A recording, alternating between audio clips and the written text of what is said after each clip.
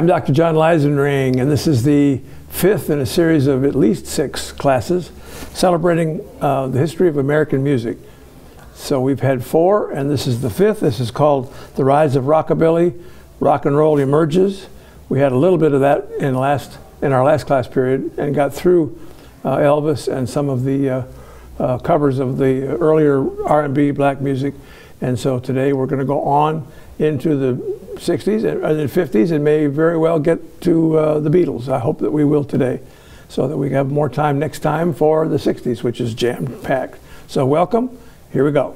We got through the Y in the road where jazz split off and became art music, and we sent that on its way. And this then became the R&B movement of the late 40s. And then we explored the fact that those black R&B artists were often covered or copied by white artists, um, sometimes sanitizing the lyrics, not always.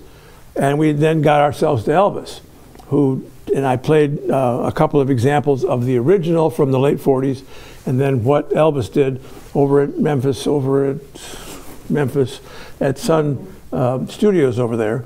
Um, and then we had a couple other examples of the same sort of thing. What I played was, uh, um, uh, well, I, I, guess I could just, for those of you who weren't here, I played uh, Big Boy Crudup, That's All Right Mama, and then turned it over and played Elvis doing the same thing with the remarkably different style, the rockabilly style that we talked about. Uh, and I played Bill Monroe, um, Blue Moon of Kentucky, and then I played Elvis doing the same song that was a record coming out of Sun. And it, of course, did what it did. Then I played uh, Big Mama Thornton, You Ain't Nothing But a Hound Dog, and then turned around and played Elvis version of the same thing. And that was sanitized. As you remember, Big Mama Thornton's not talking about a dog. She's talking about a, uh, we assume a man, but it could be anybody saying, "Get out of here! I'm not going to feed you anymore. You don't get a chance. You can't sleep here. Go away and leave me alone." Uh, you ain't nothing but a hound dog creeping around my door, uh, as opposed to what hit on um, Ed Sullivan's program. And we sort of chuckled about the fact that I can see it in my mind's eye to this day Elvis on stage singing to a, a basset hound and singing, You ain't nothing but a hound dog, you ain't never caught a rabbit, and you ain't no friend of mine. That's a completely different set of lyrics uh, to that particular thing. Then I played um, uh, Shake, Rattle, and Roll and I will play a little of that just to sort of get us back into it again. Uh, this is this is Big Joe Turner, who made his career pretty much in Kansas City, singing with the Count Basie band uh, and tending bar at the Reno Club while the band was playing and singing from behind the bar. He could sing pretty loud. Uh, and this is so. This is Big Joe Turner. Is it set up for that? Yes, it is. Just a little bit of a taste, and I'll also get my volumes adjusted and so on.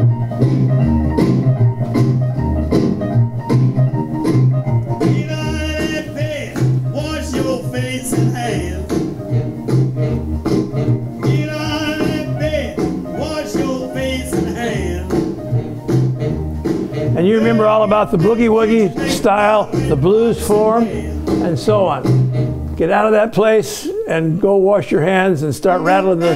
Whoop, and that's the next example, obviously, uh, of Bill Haley and the Comets, who covered that, sanitized some of the lyrics, not a lot of them. There's some surprises that we thought might have been changed from the original.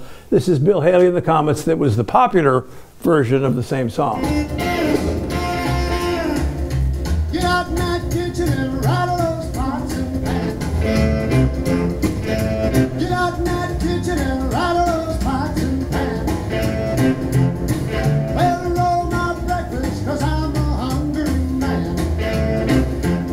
Okay, and so we talked a little bit about the, uh, the, the anti-feminist uh, tone to many of the lyrics that came out of this period, and there's others that are perhaps even worse.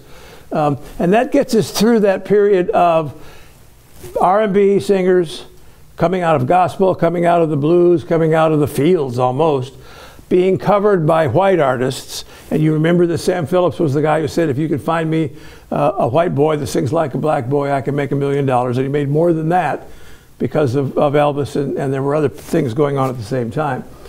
so let's move on to new uh, heights. Uh, I talked about, I don't think I was able to show you the picture from my computer screen, but the four artists, the four sun artists, uh, the picture was always captured a million dollar picture. Elvis, Carl Perkins, Jerry Lee Lewis, and Johnny Cash, all recorded there at Sun Records in Memphis in the early to mid 50s. Um, that was before Phillips sold Elvis to, uh, well, he didn't sell him to Colonel, uh, Colonel Parker and RCA, but nonetheless, that did happen. And with that money, Sam Phillips then proceeded to record lots and lots of artists, lots of them black artists in Memphis, for a number of years uh, ongoing. Carl Perkins had an automobile accident and was, was laid up for a couple of years uh, with the uh, results of that and never really recovered his career. But it was Carl Perkins who had the number one hit for Don't Step on My Blue Suede Shoes, not Elvis. And RCA, of course, thought that they'd hired the wrong man. But then, and Elvis recorded it, and it was popular too. But it was Carl Perkins who wrote the song. And that's kind of the first uh, example in here of music that was not a cover. It didn't come out of the R&B period or the country western period or some amalgam of that, but it was actually written by somebody at, at, the, at the time, Carl Perkins in that case. Jerry Lee Lewis is another one that was there, and I'm going to play a little of him and tell you a little bit about Jerry Lee. Old Jerry Lee the Killer, uh, he, he, named himself. He came out of a, an interesting family. Jimmy Swaggart, Mickey Gilley, the old, the good old boy country and western guy, and of course Jerry Lee. Mickey Swaggart was a fire and brimstone religion. I think it was his uncle, uh, but nonetheless a family persona. Uh, and Jerry Lee really did think that he was leading uh, the music all the way down the steps to hell. He, he was a tangle of what he had learned in church and what he was doing with the music in order to uh, in, order to do the kind of thing that he wanted. Uh, there was a, a, a, debate with Sam Phillips, as well known, after which he flung himself into the first take of Great Balls of Fire, playing with a particularly demonic intensity and sounding for all the world like a man laughing at the face of eternal damnation. That really was kind of his mindset about himself. And so there was this whole string of, of records that he did, uh, a whole lot of shaking going on, is the one I'm going to play. It's a rock and roll classic, slapback oak on the drums, piano as well as voice. There's a lot of the rockabilly style in it. Jerry Lee Lewis is a piano player, and he had a, a, a visual as well as an oral uh, persona. He could literally get up and, and bang on the keys with his feet and the whole uh, thing and so on. Uh, uh, pounding chords, flashy runs, sweeping glissandi, sprawling, confident command of the entire keyboard uh, a favorite device, method of pacing, tension and all, you'll hear, I'm going to play the whole track, which is about two, three minutes long, and you'll hear it build and ebb and flow, let's say, which was a very common thing that he did. Um, period. Let's play it. That's not it yet. That is.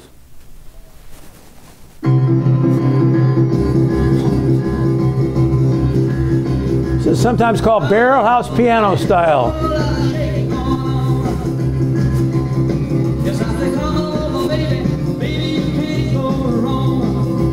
Loud enough?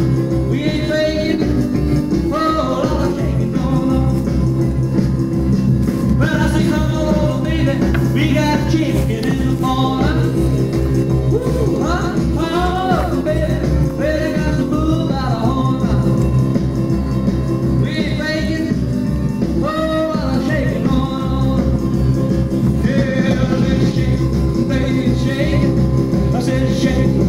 It is blues, and there's a definite boogie woogie feel to the music.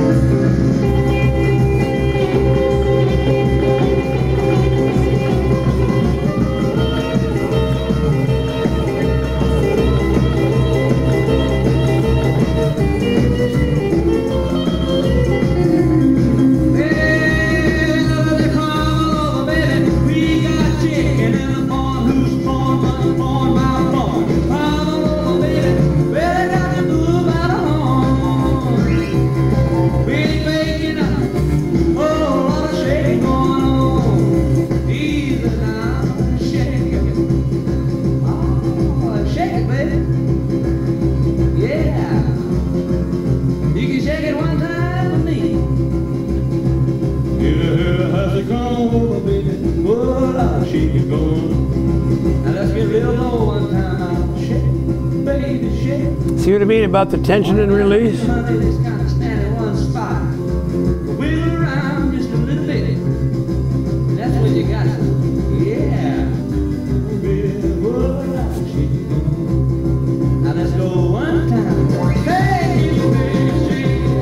And then he takes it out. But that kind of it's not symphonic, but you get the idea of it's not just a straight through thing, but the, the rise and fall, and a lot of the, of the music that he put out was like that.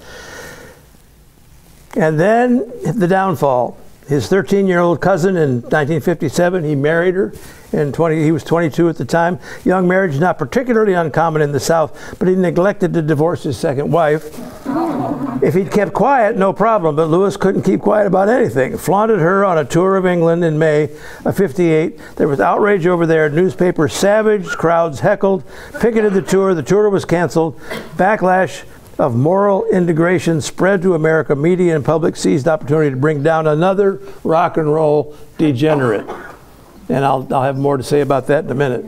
Um, yep, that was that was the end of his career. A little bit of, of, of uh, surfacing, but no sponsors would pick him up. And so what you just heard and a collection of, of things that he put out around that same time was it. Um, Matter of fact, Dick Clark, the American Bandstand guy, could have saved him probably, but caved under sponsor pressure. And um, he had said later that he considered it the biggest mistake of his career not to have Jerry Lee Lewis on the uh, Bandstand television show, but he never did. Hmm. Johnny Cash was the fourth of those, that uh, Sun studio thing, and he, he was often called the man in black never really a rock and roller. He has remained surprisingly popular with young rock audiences throughout the year. Star of the Sun roster 55 to 58, though his tastes and talents led him away from rockabilly toward storytelling, country folk style that better suited his resonant voice and adult sensibilities. Um, and then there's a lot of notes here about his backup band and one thing and another. But Johnny Cash was really a different kind of animal when, when he went his way. Much of the music that he recorded and sang, he wrote or the people wrote for him. Um, so he really doesn't quite fit into all of this. But I thought I'd play a little bit just because he was a, the, one of the original Sun Studio guys. And so here is, it's a live presentation, as you'll hear, Folsom Prison Blues. Hello, I'm Johnny Cash.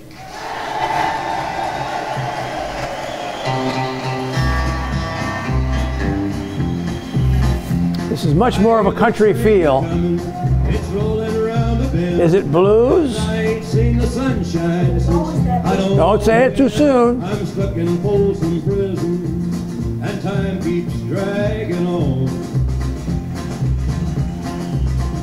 But that train keeps rolling on down this line I'm. When I was just. What do you think? Blues format? Well, there's that beat. Ah, that's what I'm talking about. Is it 12 bars, 12 measure blues? Nod your heads. Yeah, it is. now, you, you, you knew that. but it doesn't have that boogie woogie feel. It doesn't have the rockabilly feel. And much of country western music before and at this time and since is also based on that 12 bar blues format with the four, one, four, five chords that we talked about last time. And they're very clear in here. So I'm going to play just a little bit more of it.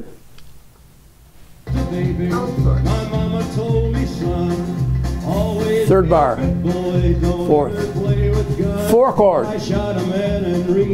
And this great line. Hang on now, it's going to go to the five chord. That's the ninth bar. Ten.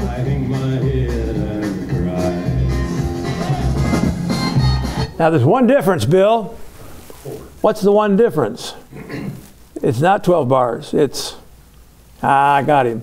It's only 11 bars. They, they, they leave that last bar of the form out. But can we say it's, it's the blues form? Yeah, we pretty much can. It just happens that there's only 11 bars in each one of the structures. But if there's going to be people playing at the same time with each other, the urban blues concept, it has to be something that everybody knows where we are. They can't vary the tempo, they can't vary the form and have people playing along because, of course, they're not reading music, they're just simply playing. So it is urban blues. It's a little bit modified because of the of the leaving off that last bar, but you get the idea.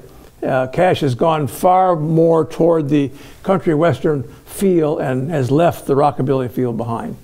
Okay, can we leave that for now?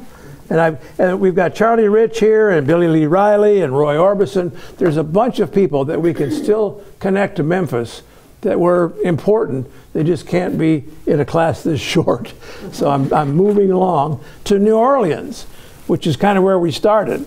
But in New Orleans in the 50s, there's a group of musicians coming out that have a distinct style of their own, uh, which would be very predictable because of the fact that it's coming out of New Orleans.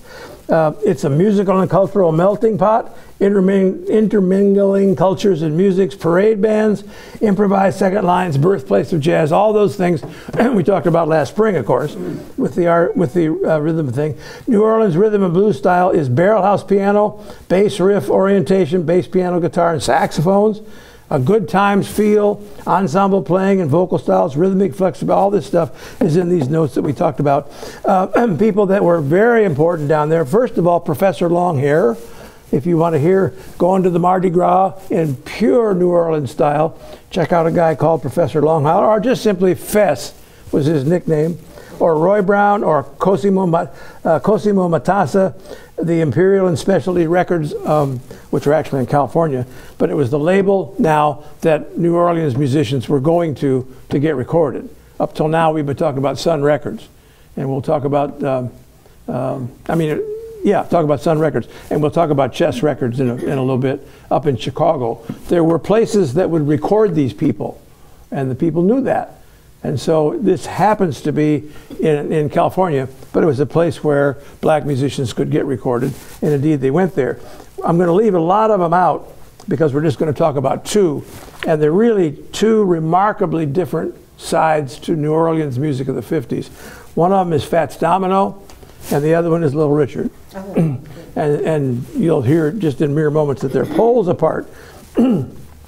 My notes say at 55, the city provided rock and roll with two of its future giants.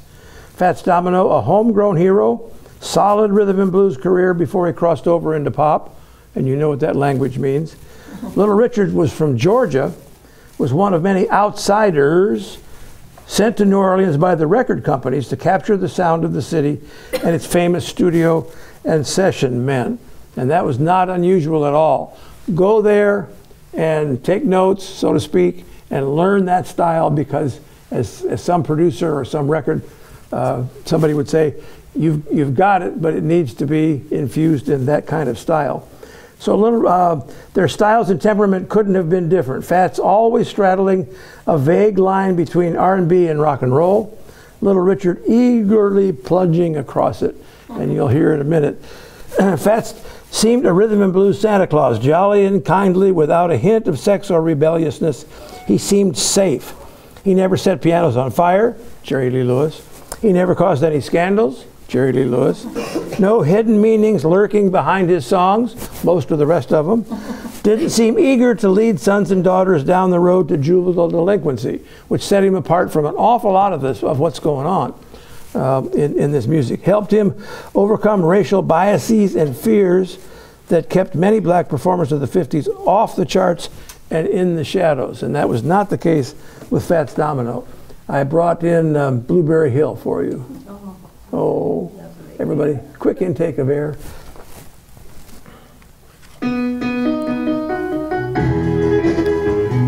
There's definitely a boogie woogie bass line, but we get this treble. Well, we will in a minute. I found my thrill. Oh, blueberry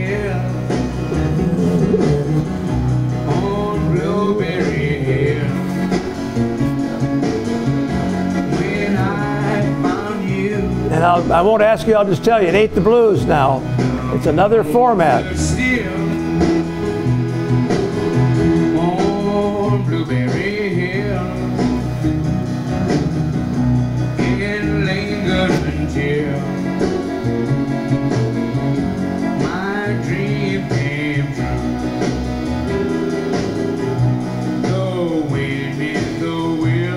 Did you hear the music change? Different melody? brings in the backup singers.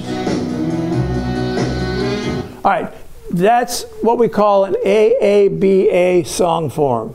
A, A, B, A. Eight bars, repeats. The bridge, the B part of it, is different music. Not necessarily different style, although it can be. And then we go back and repeat the A section again to complete the song. And that's this kind of thing. We haven't heard that. So much of what we've been listening to is the 12 bar blues format that came out of, of course, New Orleans and, and all of the, of the southern thing. But this is new. Now let's see what Little Richard's going to do with what he's going to do. Um, have I said everything I want to say about Fats? I think so. Um, oh, just tunes that he recorded. The Fat Man, Ain't That a Shame, Blueberry Hill, Blue Monday. You, you remember some of those. Um, he had quite a string of hits. And in the process, was not one of those artists that didn't make the money. He was he had a, a good contract. He, he ended up a fairly wealthy man, as he should have. Steady stream of releases sold well, kept him in constant demand for television, movie, live appearances. We haven't heard that before in, in this kind of music because Fats really did fit that sort of mold. He was a black man, but he could exist in the white world. Little Richard. Hard to imagine what rock and roll would have been like without Little Richard. His living embodiment of rock's raucous soul. Manic passion, outrageous image, the other extreme from polite crooning.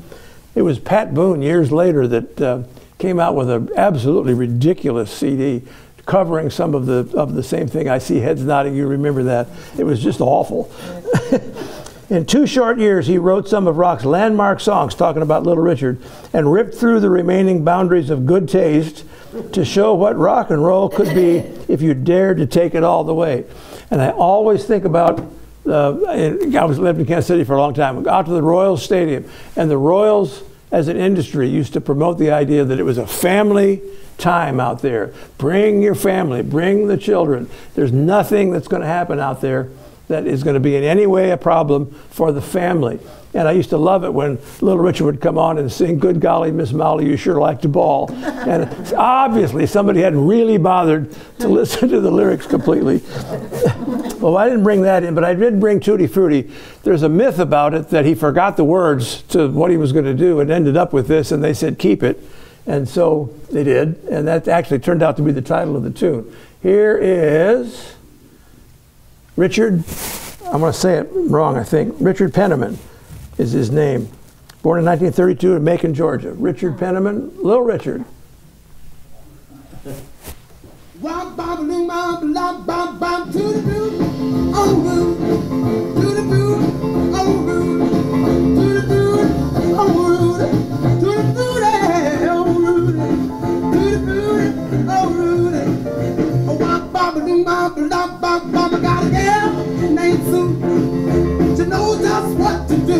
Bars. Four chord. To know just what to do. She rock to the east, she rock to the west, but she's the gal that I love best. Blues? Yeah. Predictable? Yeah. Now you have to see the visual too. Dancing and carrying on on stage, and the the falsettos.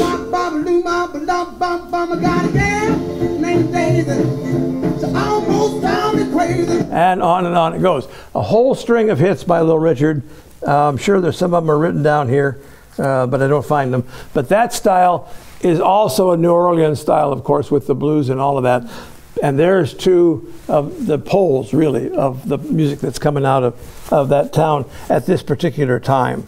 Yeah, Tutti Frutti, Long Tall Sally, Good Golly Miss Molly. Um, I've got here uh, Little Richard's finest moment. Tutti Frutti, and I also in my class played Tutti Frutti by Pat Boone in 1956. It's got a picture on the on the jacket of him in a leather outfit and, and all of this, and it's just awful. Check check it out. But the class loved it, of course, by the time we got to this point. At the height of his career, Richard leaves his career for religion, announced that he was, quote, giving up rock and roll for rock of the ages.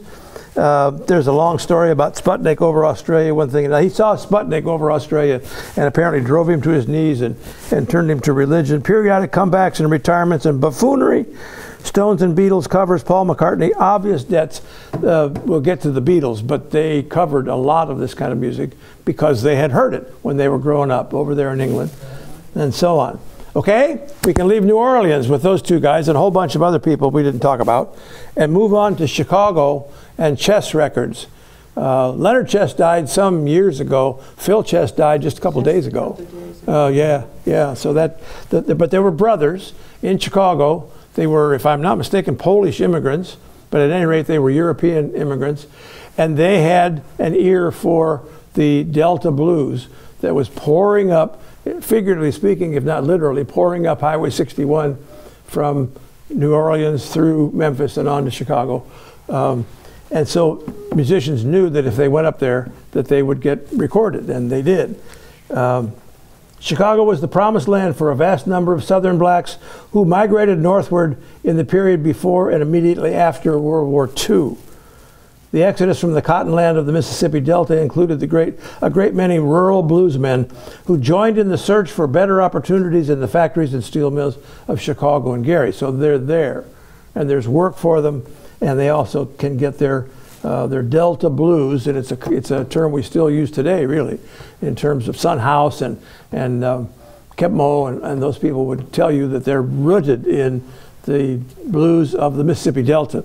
And I used to think back in the day that that meant down south of New Orleans, you know, the, the, the geographic Delta. But it means that whole run of small towns along Highway 61 and along the east shore of the Mississippi River that had the juke joints and the, and the places where the blues joints and, and barrel house and all of that, where they learned their, their craft and practiced their craft. Used to be a bus tour that you could get on in Memphis, and I guess in Memphis, and go south rather than New Orleans and come north, and hit the various old blues dive uh, along there. Uh, is it Green, Greenville or Greenwood, Mississippi, and some of those.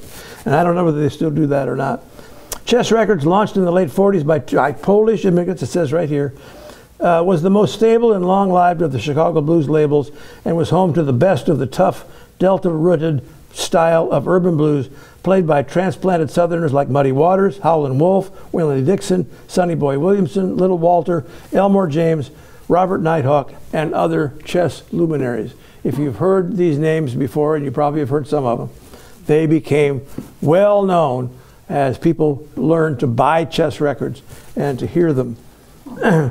um, R&B records began crossing over into the pop charts and the rock and roll boom approached, as it approached, the Chess Brothers were painfully aware that their pure blues was far too raw for pop ears, and they began looking for other ways to tap into a wider market without losing their natural uh, base. And so we have groups like the Moonglows, Sincerely, covered by the McGuire sisters. We have the Flamingos, I'll Be Home, covered by Pat Boone, and I've talked about that and a bunch of them. Uh, Bo Diddley uh, surfaces, and actually the Bo Diddley beat is still very much alive. I heard, um, was, was it the Chicago, uh, the uh, Dallas Brass? Somebody recently, uh, it was a remarkable rendition of something uh, that was in the Bo, it was the Dallas Brass that played a patriotic song, an American patriotic song, but in a Bo Diddley beat, hmm. which, and I'm not sure that anybody really caught that, but I thought that was remarkable. Um, and it was Bo Diddley that said, that was his name, by the way. Uh, it said, We were the beginning of rock and roll, and Chess Records should be labeled as that. It deserves the honor. Well, not really. We've talked enough about the beginning of rock and roll to know that it goes all the way back to the roots and, and far, far before the 50s. But nonetheless, people thought that. And then I had a bunch of things that I played in class, but that brings us then to Chuck Berry. And Chuck Berry is not from Chicago, he's from St. Louis. And Chuck Berry is going to really define rock and roll for the future uh, because of the way he played, the material that he used, and the, the whole amalgam of it's, it's almost like a, a, black Elvis Presley. He's an amalgam of country style and R&B style. It turns out that he's a black man and not a white singer, and lots of people, unless they'd seen his picture someplace, thought they were listening to a white, white singer uh, because his style was very much like that. Horrified audiences, or at least uh, entourages in the South, who had booked him on tour, and when he got off the bus, They didn't know. Didn't- Nobody, nobody, nobody told them. Um, so there were some interesting times in the southern part. Uh, but Chess Records is, a re- is the uh, place where Chuck Berry is recorded. His influence is so pervasive that simply playing rock and roll is paying homage to Chuck Berry. Um, while Elvis' magnetic presence embodied the stance and spirit of rock and roll, Berry, more than any other artist, defined rock's musical style and articulated the concerns and attitudes of its audience. Chuck Berry Classics helped establish rock and roll as a musical form in itself, no longer a hybrid of R&B and country, and formed the musical cornerstone, let's say the musical alphabet, upon which rock and roll was built in the future. Uh, Chuck Berry was, a, was an artist guitar player, indeed established the guitar, I think, as the, as the instrument of rock and roll as, as time went on. And he was also the first great poet, rock and roll poet. And he, compo- he composed his music or, or wrote his poetry directed right at the high school teenage market. And I'll play a couple of examples for that. Um, songs which really described the life of being uh, a teenager in high school. And I suppose we could say a white teenager, because certainly the popularity was, was in great measure in white high schools. Uh, skipping, skipping, skipping.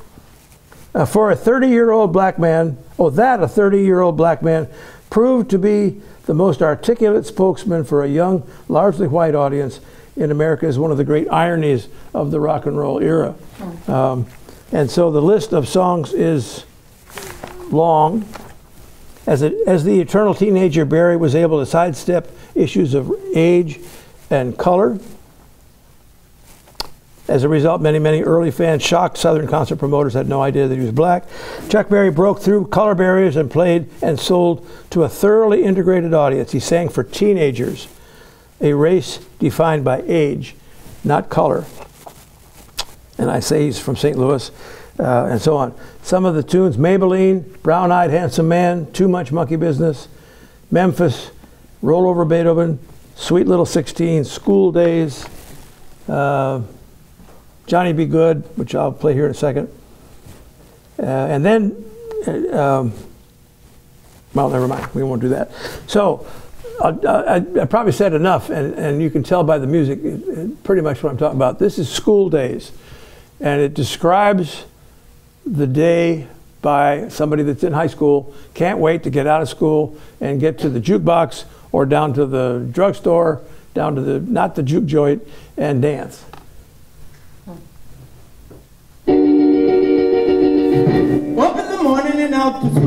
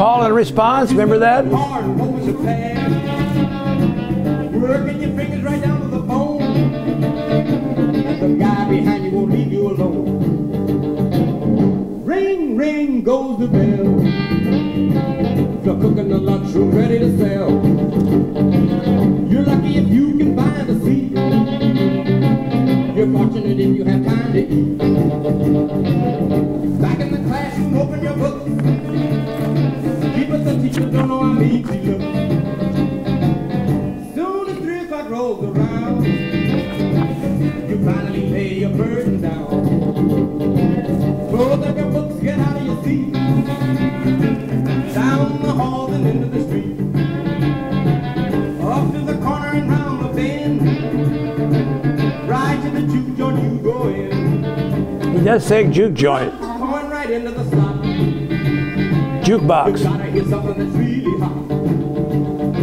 With the one you love, making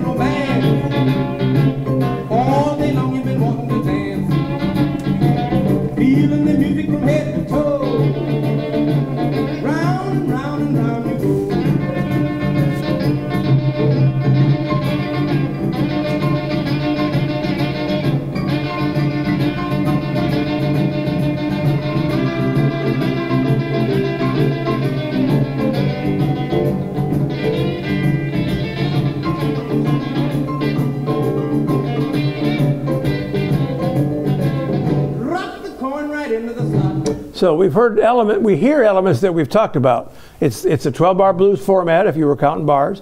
The harmony is real predictable. The style is almost a boogie kind of a style, but not, because the way he played guitar was new to most of us who were listening to this kind of stuff. Um, and it was also something that all the young guitar players picked up on. Eric Clapton talks about learning uh, Chuck Berry solos.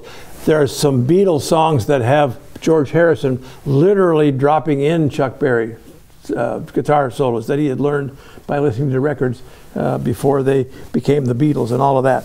So Chuck Berry, a major person in the history of American music, no question about that. Okay, at the same time, a lot of crossovers, a lot of people seeing that there was money to be made in the pop music market and going after the money in some manner or other, in, in, including composers. Uh, there are people who are not musicians in the sense of Chuck Berry, for instance, but are writing tunes for some of the groups or for some of the artists. And there's a lot of them. Uh, I'm going to talk about Leiber and Stoller. Jerry Leiber and Mike Stoller was a songwriting team that produced lots and lots of music. And they are music is attributed to them that's not true. Uh, the one that I always think about is, is, going to Kansas City, which people will say is a Leiber and Stoller tune, when in fact, uh, Little Willie, Little Willie John uh, is, is probably the, the one that, that penned it. But Leiber and Stoller wrote for the Coasters, for the Drifters, their work can hardly be called doo-wop in the strict sense. The carefully crafted arrangements and productions place them on a wholly different level from the street corner one-shots that made the term uptown R&B necessary for describing their music. Um, it's, it's a whole collection of music that exists inside what we call pop music.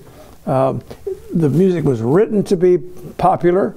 It was hoped that it would become popular. The things that we know, of course, did become popular, or we wouldn't know them. Although there was a string of what are called one-hit wonders, where they simply put out one record, became very popular, and we never heard anything more about them. And there was a lot of that going on here, there, and yon. Uh, but I'm going to play uh, a group called the Coasters. and the us versus them lyrics of Yakety Yak is a major hoot, endless struggle with nagging parents in terms that any teenager can understand. There's also a song I'm not going to play called Poison Ivy, which was a Leiber and Stoller tune. Is a woman who comes creeping while you're sleeping, though the coasters warn that, quote, you can look, but you better not touch, and includes one of the rock's greatest lines, and you know it's coming. You're going to need an ocean of calamine lotion. there was some thought that she might have had a sexually transmitted disease, and it was a sort of an undercurrent in there, but there were people that hadn't figured that out and don't care. At any rate, here is Yakety Yak. It's a little hard to hear some of the lyrics, but check it out. It's the parents, or a parent, talking to a teenager, and there's a line in there that comes back again and again don't talk back. And then you hear somebody, or, and somebody's yakety yak, and somebody say, don't talk back. Um, it, it's, a, it's an old, old sound from, let's see, it's still Johnny B. Goode. I didn't play Johnny B. Goode. I guess we skipped it. Here's Yakety Yak. Yeah. And notice the production, uh, too. If I can make the computer turn on. The musical production, the studio production. Take out the papers and the trash.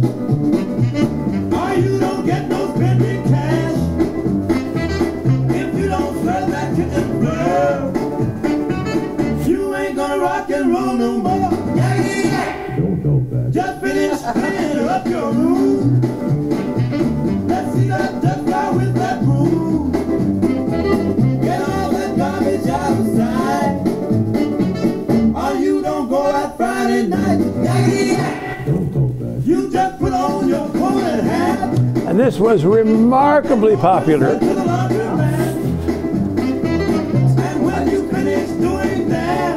It's still 12 bar blues, folks. I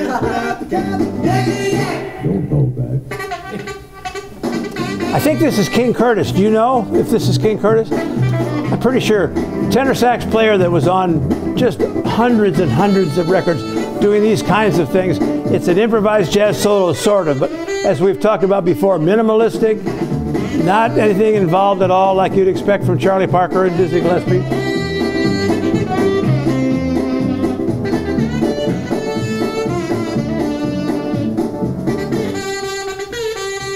Don't you give me no dirty look. and it goes on. It's a storytelling, it's a spinning out of a situation. It, it talks right at where teenagers were at the time. I remember having the same sorts of issues in my, in my teenage years in my household. And so it was perfect. It was just the kind of stuff that people would want to, and of course, zoomed all the way to the top of the charts. Are you saying Ken Curtis was the sax man? King, Oh, King. King Okay. Curtis. Thank I don't know, do you know what his, what his name was? I don't. I doubt if it was King. I'm asking Bill because he plays the saxophone, he's supposed to know. That's fine. I'm just interested. That's great information. Right, right. There's there's even books of transcribed King Curtis solos out there for people to learn how to play that way. Hmm. And the the sound, the almost a slapping, slack back kind of a mm-hmm. reedy sound was very uh, traditional as well. And and you can't put on 50 records without hearing at least 30 King Curtis solos mm-hmm. along with it. He, I hope he made a lot of money. I doubt if he did. Mm-hmm. Um, Skyliners was a one-shot deal. The Del Vikings, the Drifters, Clyde McPhatter, Johnny Moore under the Boardwalk. You may remember that. Uh, ben E. King, Stand by Me. These are all part and parcel of the same era, and it has to do in great measure with the industry pulling the music back into something they can control. Um, there's money involved, of course. Um, I uh, what has happened is the icons are gone. Elvis is in the army, and of course, then on to movies and one thing and another. Jerry Lee Lewis has married his 13 year old daughter and is, has been uh, put on the shelf. Carl Perkins had a, an accident, never really recovered. Johnny Cash is going on his way. It, a lot of those original icons are no longer there. And that means the industry can now focus on things that will sell and that will be um, acceptable to the parents as well as the white teenagers. There's things going on uh, in different places for black people, but it really has now become separated again. Um, and, and, it, it'll stay that way for a while. Atlantic Records is another uh, label that, that needs to be talked about. Very important. There's uh, a lot of the Stax Volt recordings were uh, a subsidy of Atlantic Records. Atlantic Records in, was on the East Coast. I'm going to say New Jersey. That might not be right. The uh, Stax recording, uh, they just opened a museum over in Memphis, which I have to get over and take a look at because I understand it's great. Um, but that's kind of coming out of this. And the one example I want to play right now is uh, going back to see about gospel influence in the music, uh, where, where the music is really changed from gospel music to pop music, but they didn't leave an awful lot of it behind. Um, I'll tell some stories as we go along. The first one I want to play is Ray Charles, which is somebody that everybody knows. And it's really kind of hard to say that Ray Charles is a rock and roll guy because he was an every guy. He did country things, he did jazz things, he recorded with Count Basie. I mean, he did so much in his career um, that was really not a part and parcel of kind of what we're talking about. He's from Florida. He went. He was um, either blind at birth or blind shortly thereafter. Um, one of the great stories, of course, is uh, late in his life, a, a media, an inane interview media guy saying, "How does it feel to be uh, to be a, a great rock and roll uh, musician and, and and blind and black?" And Ray said, "I'm black."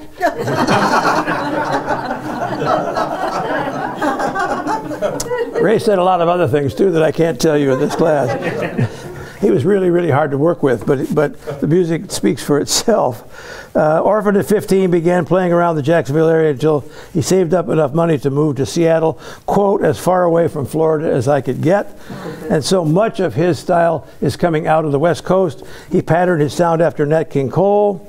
Four years of moderate success, he signed with Atlantic and began to search for his own sound, and that's the sound that you that you know. Extended stay in New Orleans, recorded uh, "Don't You Know It" Matassa Studio. That's what we were talking about earlier with the uh, the New Orleans guys, but that didn't didn't uh, stick necessarily, and so I Got a Woman came out, and it's it's rooted in the gospel style, as you'll hear Is that what I've got? Yeah, that's what I have on here. Based on the gospel song, My Jesus is All the World to Me. Combined the musical structure, celebratory spirit, and emotional delivery of gospel with the instrumentation, dance beats, and earthy sexuality of rhythm and blues. So, really, an amalgam now of gospel slash church and rhythm and rhythm and blues. Uh, added profane lyrics, a sax break, jump blues, stop time sections, and a dance band that answers the Charles calls, sang the praises of his woman in the style and with a passion that was previously reserved for praises of the Lord. I can tell you that many of the songs that we uh, identify with this style were uh, gospel songs, and all they did was change the word Jesus to the word baby. And, and suddenly they became suddenly they became pop artists and of course the people in the church went straight through the roof but that was the entree into the pop genre. This is ray charles in 1954 on atlantic records singing i got a woman. Right there. Ready go. Well, I got a woman way over town. That's good to me. Oh yeah,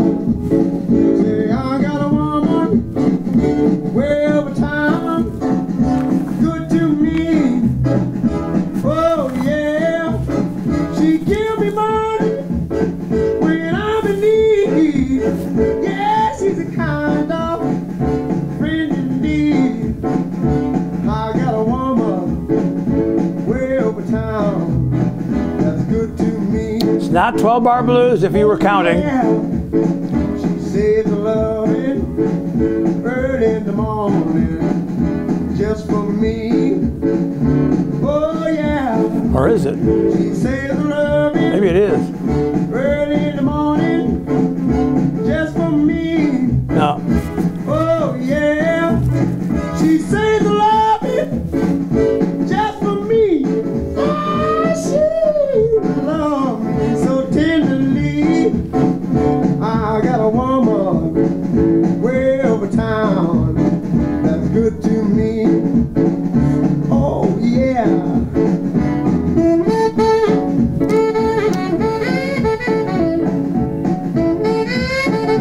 lot closer to the way a jazz saxophone player would play in a jazz format.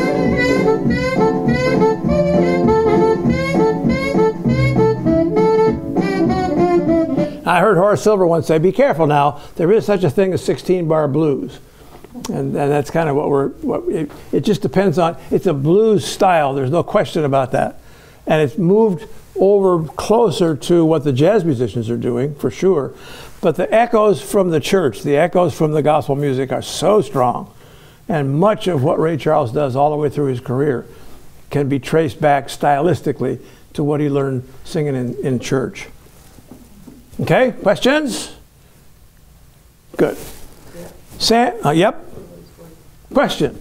Is, is that always a one, four, five, uh, concept with the chords? Not no, not always at all.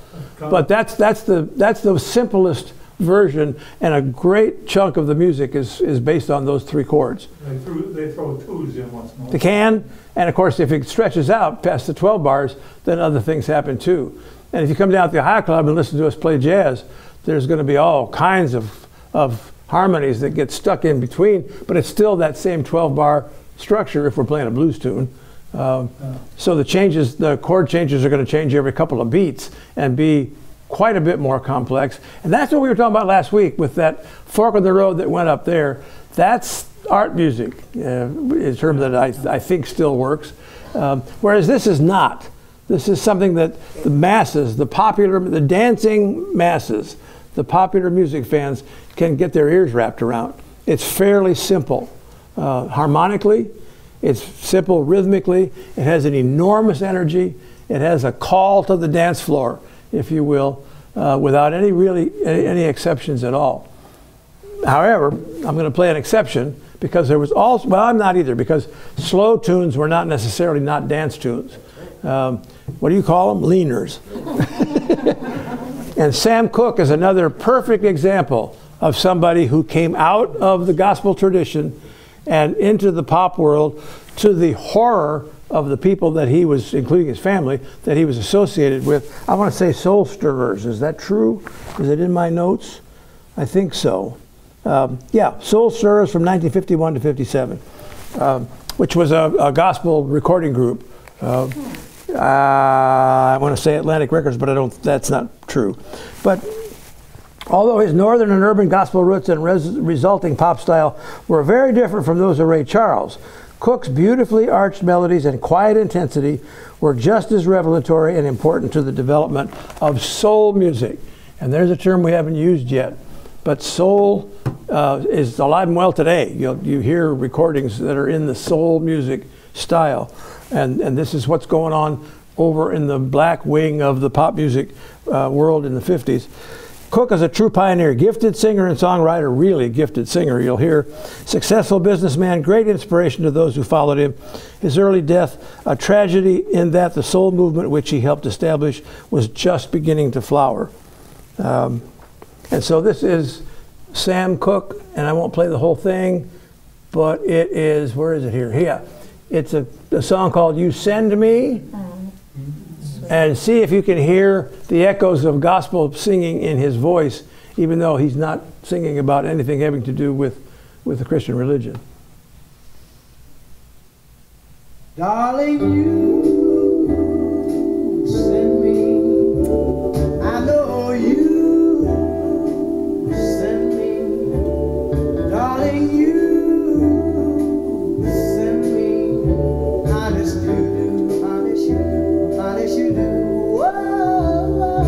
Now, since we've talked about chord changes a little bit, here's another standard set of chord changes that exist all the way throughout uh, the music. It's called doo-wop changes for some reason or other. A lot of the doo-wop singers, of course, used it. And I, I, if I had a piano, I could show you. But instead of one to four to one to five to one, which you've been hearing really all these lectures, it's one, six, four, five, one. And if you if you were one of those that played heart and soul on a keyboard in the basement someplace, a lot of times people played one six two five, but that set of chords is scattered all throughout the music, and it's in this one, and I'll show you. Uh, when we when we continue on, but that's another standard set of chord changes, another standard harmonic setup that many many many pop tunes are based upon. If you're a, a, a an aspiring jazz musician and you learn how to get, get around the blues chord changes and doo-wop chord changes, you've got a whole lot of material that you can stand up and play on. And that's how many of us learned how to play this kind of stuff.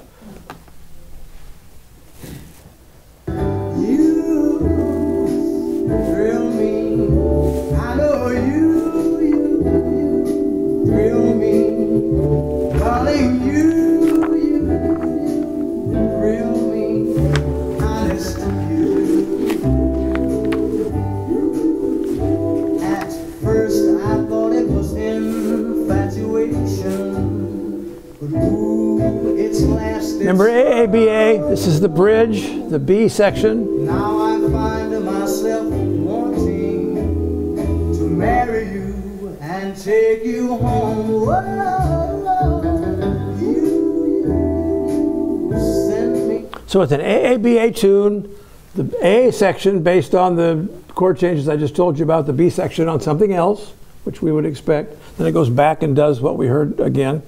But mainly it's about the, the, the words and the feeling. And I mean, Sam Cooke could sing. Um, and he died very young, and we lost him because, of course, who knows what would have happened if he'd lived a long and fruitful life. Does, does everybody change the chords as they play? I mean, you have a, a various instruments in there. Right? Do they all do the one, five, four? They have to. Right. They have to. None of it is different than in that sense. not not at the same time. If if the mm-hmm. if the two the song gives us the harmonic structure, okay, and so and if we're if we're playing in a, in a band and nobody's got music to read, and all, we have to be at the same place at the same time. Okay. Pretty much. I mean, there's there's techniques of sort of going outside and coming back and so on. But generally speaking, if it's a one chord, everybody's playing on a one chord. And if it goes to four, if, if somebody doesn't change, then there's a problem. Some, there's a class, somebody's lost, and, and, and have to sort of work their way back into it. That's really back uh, last spring when we started talking about rural blues versus urban blues. That's what happened. Rural blues, here's Robert Johnson on his back porch with his guitar, and the form doesn't matter because he's all by himself. And so it changes when he feels like changing it, and the chords may or may not be what you would expect him to play.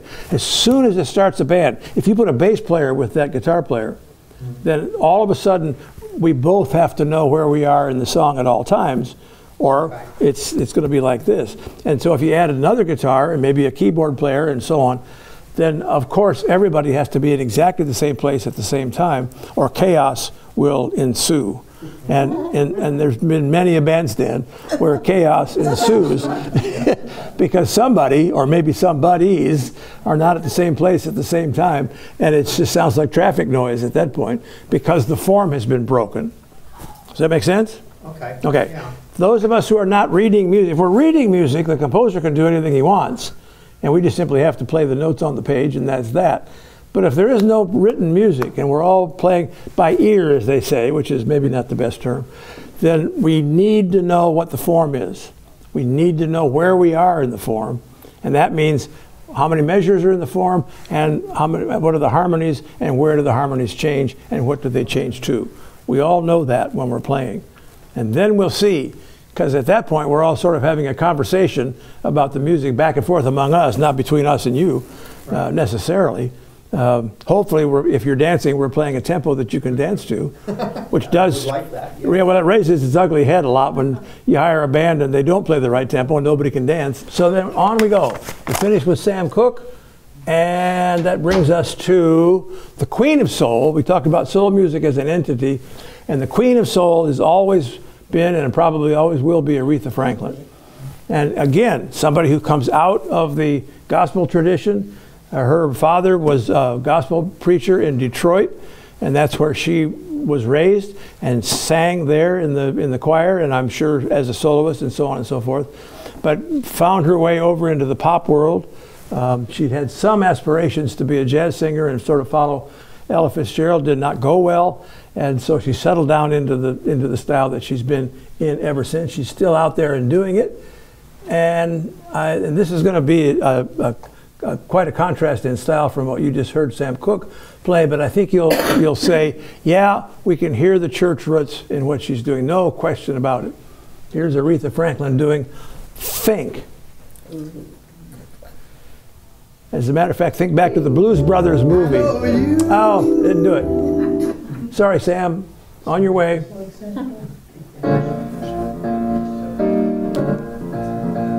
She plays her own piano, but probably not on records, but live performances.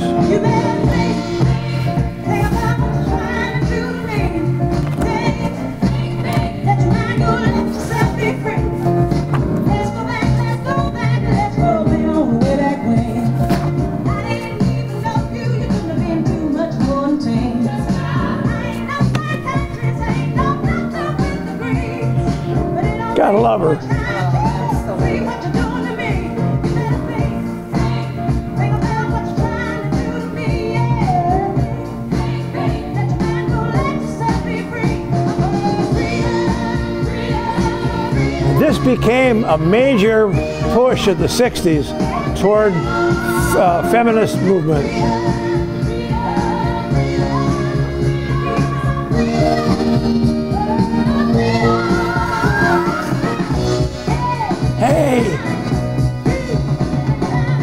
Got goosebumps.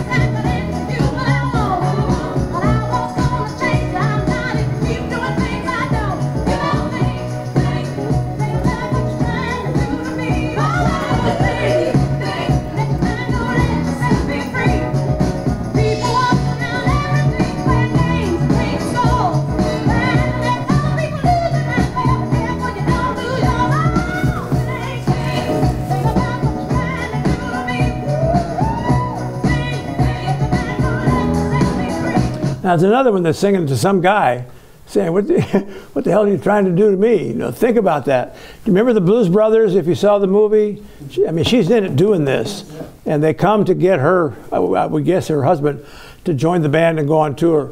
And she sings this song in the movie saying, hey, you know, I, I need your ass around here. Think about that. And, and off, off he goes, of course. We're ready for the girl groups because we just had Aretha singing about thank to her man. Uh, the girl groups are coming, and after that, we'll have the. I think we have time to do the Beatles before we finish. I'm going to read a certain amount of stuff because we are at a major junction in music history at this at this point in time. Early 60s pop and the death of rock and roll is the title of my sheet. The best of times, the worst of times, which is one of the two most famous starting sentences in novels. What's the other one? Well, first of all, what's the? It was the best of times, the worst of times is the beginning of Tale of Two Cities. What's the What's the second most famous opening line? Call me Ish. Call me Ishmael. Is what? Moby Dick. Moby Dick. A little trivia. the crash in Clear Lake, Iowa, came to symbolize the end of rock and roll's golden era. That's uh, Buddy Holly, and we, I, yeah, he's not in there. By the early '60s, pop ruled the airways, and rock and roll seemed to belong to an era already past. First generation rock and roll fans were already graduated, married, working, and raising kids, and talking about the good old days of Elvis and Jerry Lee Lewis. Indeed, the term rock and roll, in its strictest sense, is applied exclusively to the music of the 50s at this point in time. A few years earlier, Pat Boone had lamented that teenagers would not have the type of good music that earlier generations could reminisce to. When I listened, this is Pat Boone, when I listened to the swinging music of the 30s and 40s to Tex Beneke, Glenn Miller, Dorsey Brothers, I wonder how we're going to feel 10 years out when we say, listen, dear, they're playing our song, and in the background we hear Hound Dog or Tutti Frutti. this is Pat Boone talking.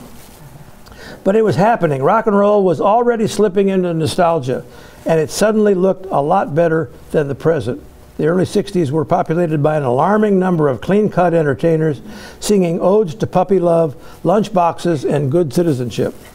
Mel- melody replaced the beat and the liberating energy of rock and roll. And it, I'm interjecting on my own that we were back to more of a European approach to music and less of an African approach to music. Okay?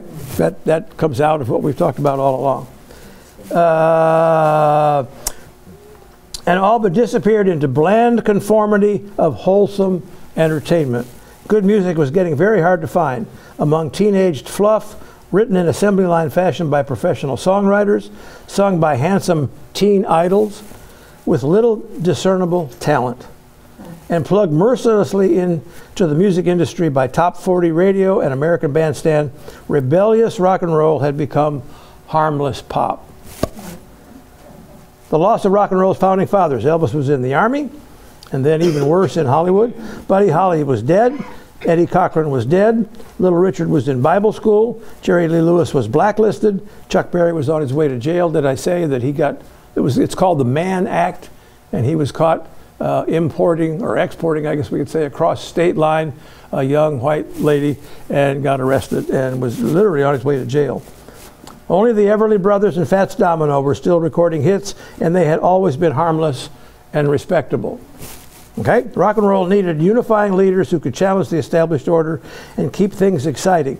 No such figures, no such figures emerged again until the Beatles. Okay, so put that aside for a minute.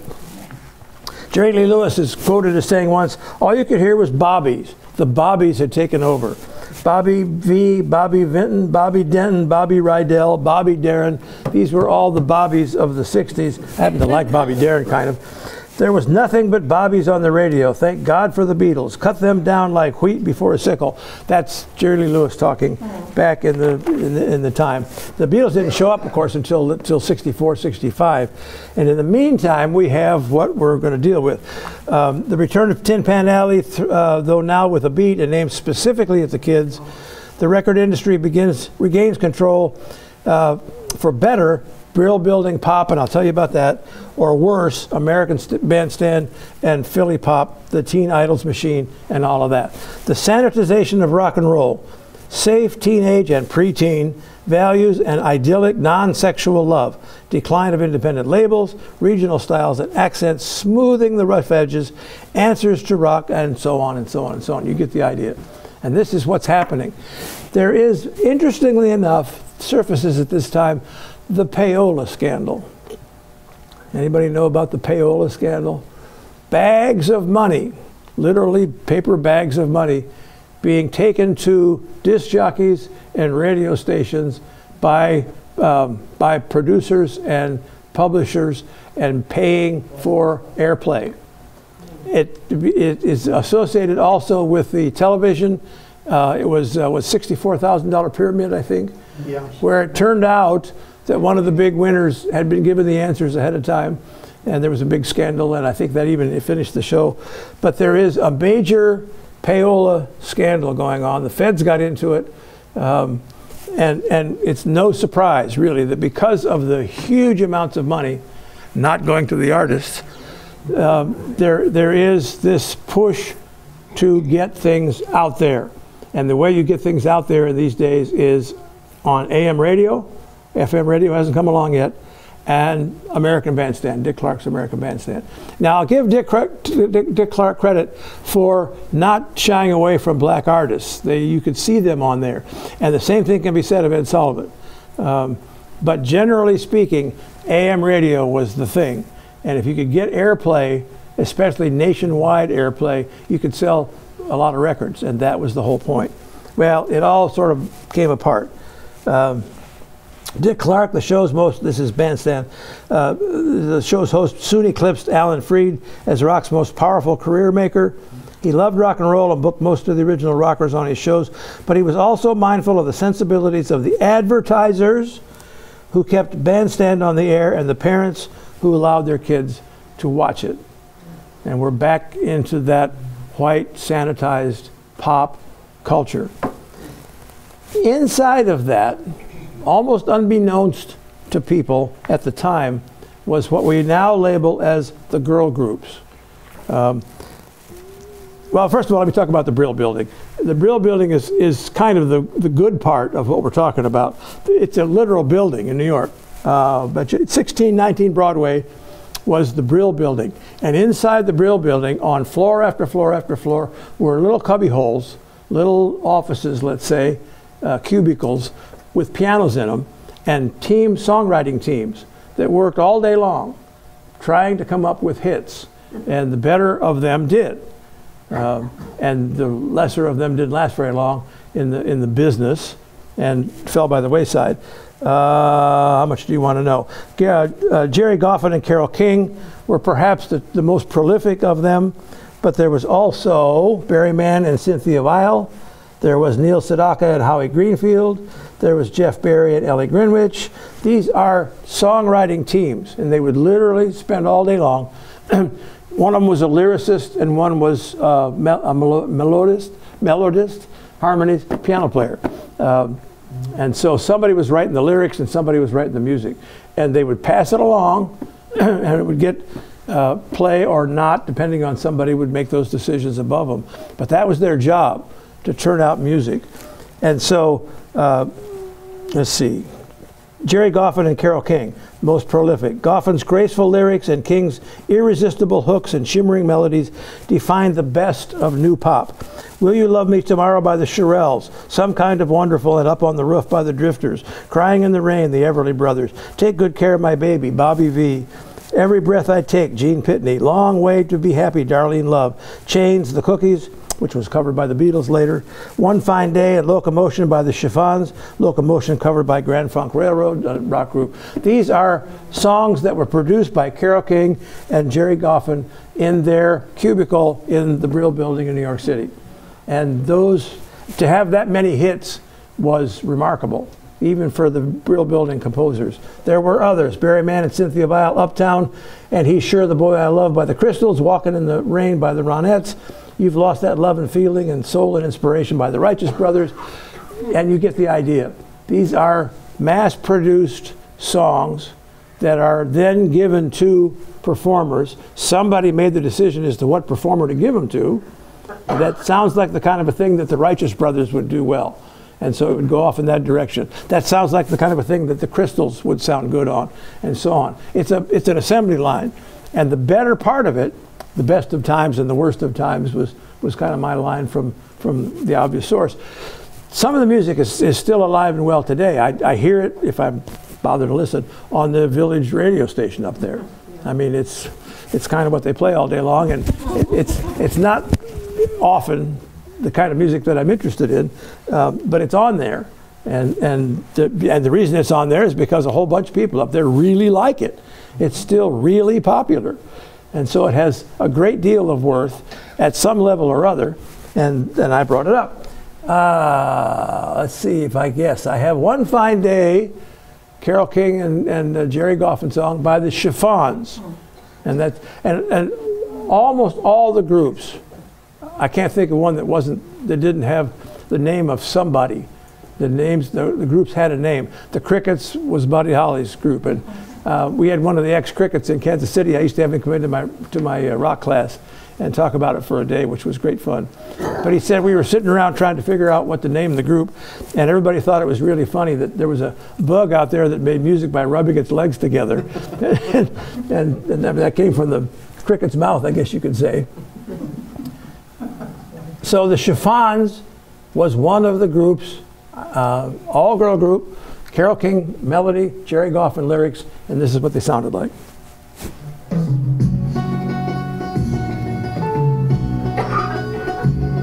And notice the, the production has gotten very slick. They borrow from doo-wop.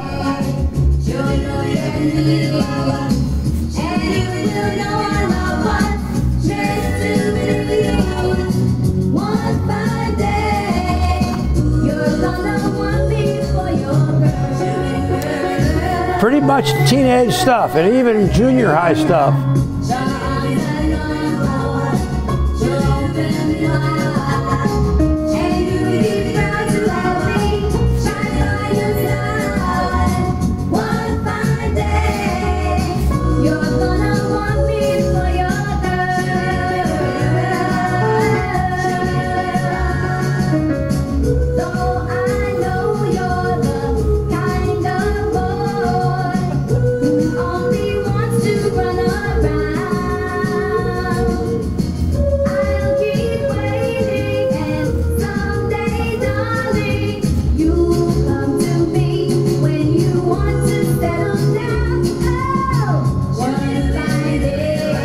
Get the idea. You hear the doo-wop backgrounds that were in that thing. It's a part of the whole uh, arrangement situation. Narrower range and fragile quality was easily smothered by aggressive background vocals. Narrower range of, of singers, because the men could sing falsetto, and so they had a, a wider range they could work with. Instead, backgrounds when present consisted of oohs and ahs, and full voice attacks were saved for unison refrains and call and response sections. The focus remained on single lead voice and bright pop melodies.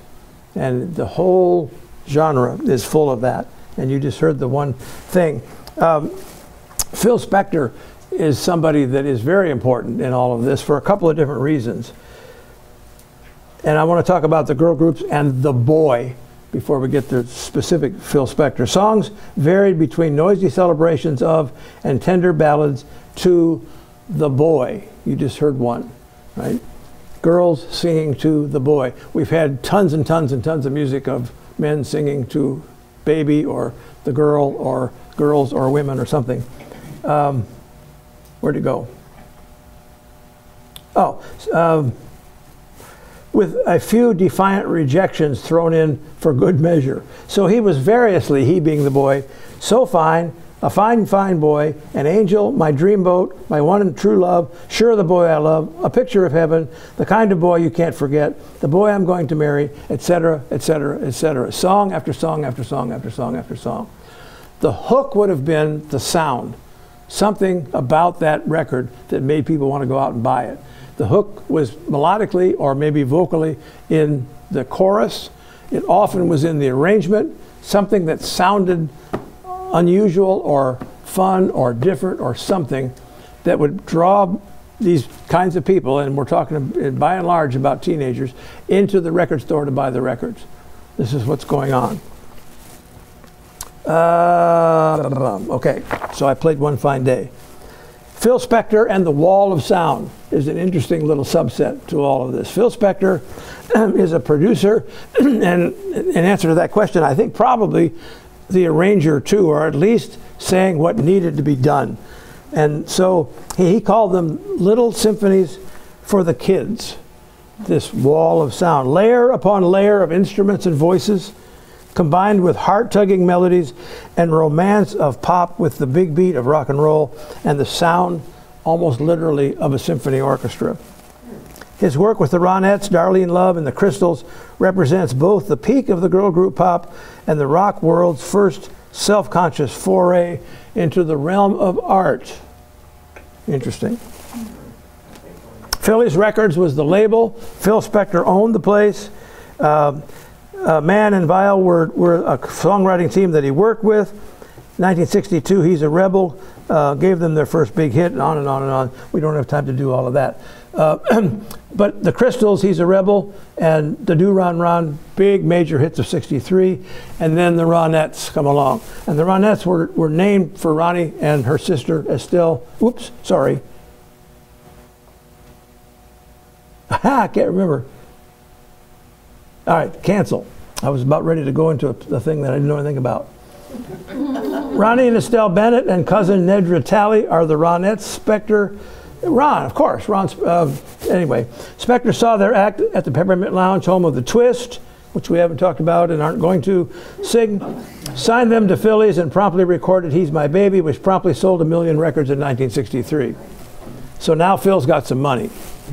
Baby I Love You followed. Ronnie's lead singing is more assured. Hal Blaine's drum extravaganza is even more aggressive, joined by sleigh bells, castanets, tambourines, cowbells, and much more. They would literally go out on the street and bring people in to, to hand clap. Uh, and, and so, and these record, these, the sound just gets enormous. This, this wall of sound that, that Phil Spector creates. And I'm hoping that this next one will be a good example of that, which is my boy. Oh, it's not going to be an example of that. But this is, I'll skip down to Be My Baby with the Ronettes. This is Phil Spector's of Sound. Electronic echo, castanets. A lot of times you can't hear what they're singing. Probably a keyboard or two.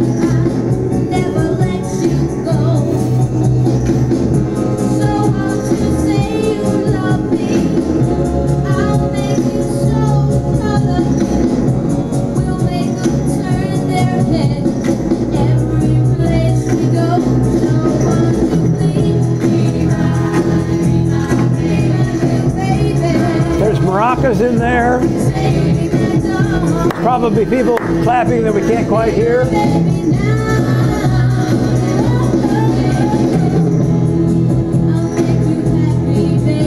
I'm going to say there was probably 20 to 30, maybe more, records with this kind of sound on them that was called the Phil Spector Wall of Sound, at least after the fact it was.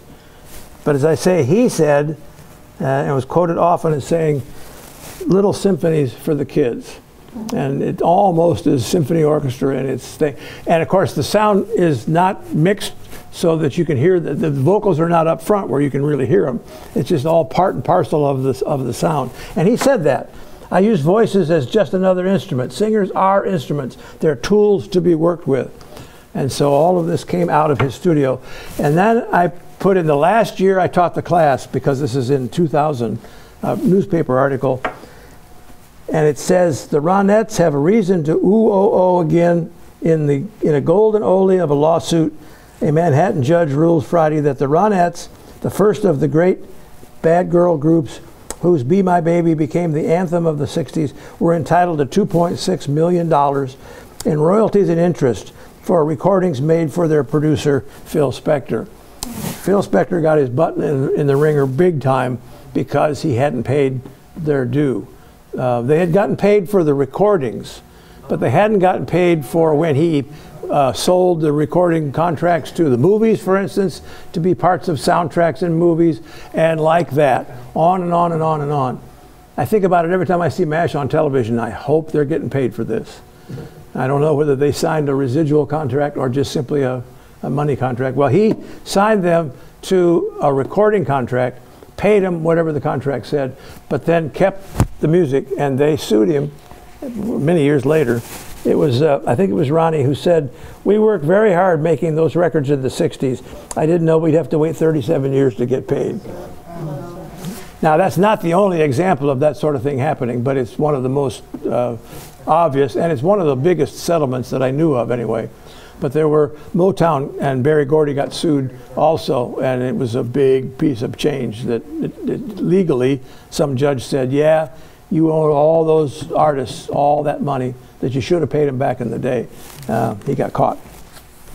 I'm going to go back and do just a couple of girl group things. I already talked about The Boy, and there was about that uh, a, a, tendency from some of the groups to have really negative um, themes about it, and you'll see what I'm talking about. Uh, where it wasn't all just peaches and cream and, and, and love songs for, for teenage boys and girls.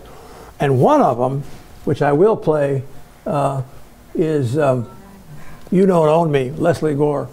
And it, it got tough, really tough, if people actually sat down, if boys actually sat down and listened to the lyrics. This first one, though, is My Boyfriend's Back by a group called The Angels. And this is a hoot. Yeah. He went away and you hung around and bothered me every night. And I wouldn't go out with you. You said things that weren't very nice.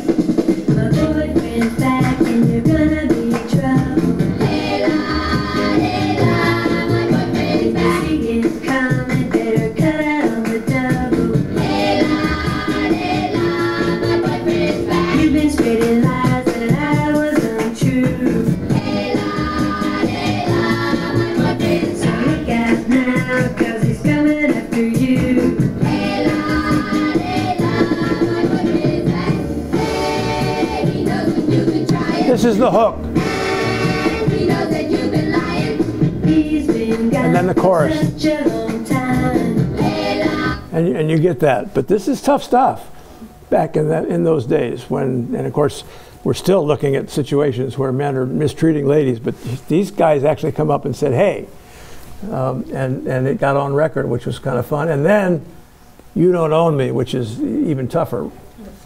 And many, many, many men didn't listen to the lyrics of this.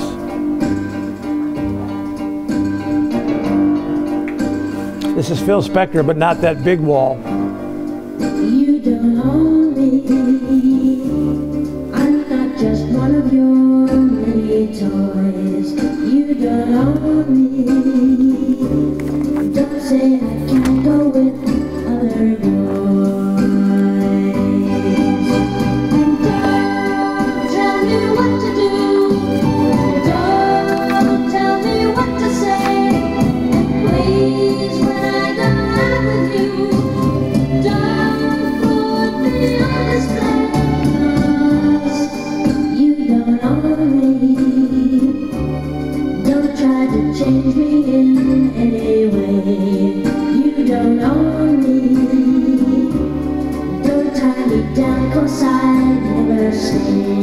This rang through the whole feminist movement of the 60s and beyond because an awful lot of women, for some strange reason, thought that guys should listen to this.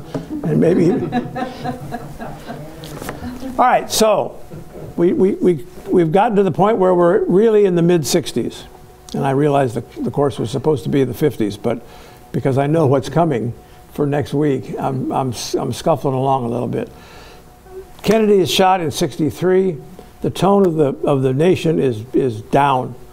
We've got nothing but, with a few exceptions, pretty schlocky pop music to listen to. Um, there's just not a lot of energy and enthusiasm. All of that that rockabilly and the rock and roll and all brought to us is, is been squelched one way or another. It's disappeared, it's gone. And then, of course, we're saved from ourselves by what's called the first British invasion. And the British invasion, of course, is there's some other groups involved, but the, but the main group is the Beatles. And how much we actually talk about the Beatles, I'm not real sure. because I think lots and lots of people know lots and lots about the story of the Beatles. The line that I like to use most often is seven and a half years. Seven and a half years from I Want to Hold Your Hand to the final album. And if you look at that, if that, that music, to my view, it's more, more, I won't say important, it's more impressive than if you look at the 30 years, 28 years or something of Mozart's career and all the music that he managed to get written in. And he died at what, 34, 36, something like that. And he didn't start writing music when he was two. So let's say that he wrote for 30 years. And all the symphonies and all the stuff that he wrote is remarkable. There's no denying that. Seven and a half years from I Want to Hold Your Hand to, and, and I'm only, I haven't got anywhere near all of the music in here. Sergeant Pepper is kind of the place where a lot of people picked up on him, and I'm one of them. And then I had to work my way backwards because I was not paying much attention. Um, but they started out, they started out as a group, uh, a ska group in, in Liverpool, England. They did much of their early um, apprentice work, let's say, in Germany, mostly in Hamburg. Uh, they learned all, all the things that they learned. They switched drummers because George Martin said, or yeah, George Martin said, Pete Best is not the drummer we should you should be recording with. They were faced with their first recording, and so and I can't remember exactly how Ringo Starr got into it, but Ringo becomes the drummer. Pete Best disappears into. The, they used to rehearse at Pete Best's house, and Pete's mother used to make lunch for him, and which happens with a lot of drummers. First, the drummer doesn't want to haul the gear around, and second, well, anyway. Uh, but it was George Martin. If anybody asks you who the fifth Beatle was, don't say Yoko say George Martin, because George Martin was always there. George Martin comes in and says they're struggling with Eleanor Rigby and they can't figure out how they want to, uh, to produce it. And he said, why don't we just use a string quartet? And Paul says, you can't have a string quartet in rock and roll. And he said, well, just try it. He said, let me do an arrangement and we'll just try it and see what you think. Boom. And, and on and on and on and on and on. Much of the keyboard playing you hear on a Beatles tracks is George Martin playing especially if he does a harpsichord thing and then they double the speed. Well, early, of course, they're a live group and Beatlemania and all of the stuff, and you know about that. If you don't, uh, get the movie called A Hard Day's Night and watch that. That's not from the very beginning. The very beginning, uh, we don't get to know about because it's been a year and a half before American record labels think that there's any reason at all to produce the music over here in this country. So there's been two or three albums put out in England before we even know about them. Um, but you know the word gets out and people leak here and there. But American audiences haven't really heard it in 63, 64, 65 for sure. All of a sudden, Columbia Records doesn't sound right.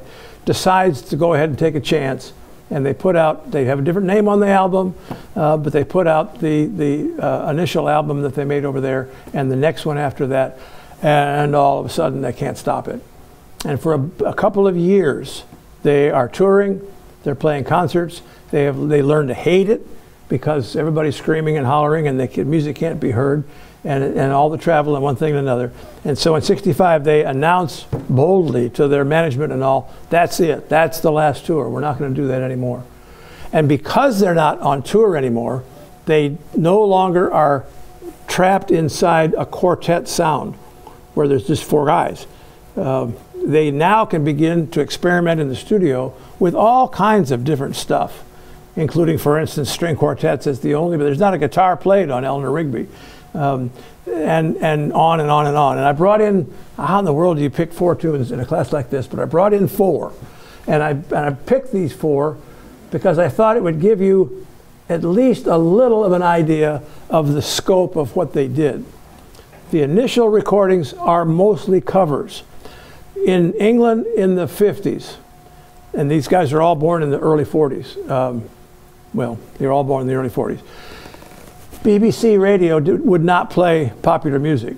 There were pirate ships offshore that were that were broadcasting uh, radio programs of varying descriptions, including often uh, the R&B that we've been listening to for the last couple sessions.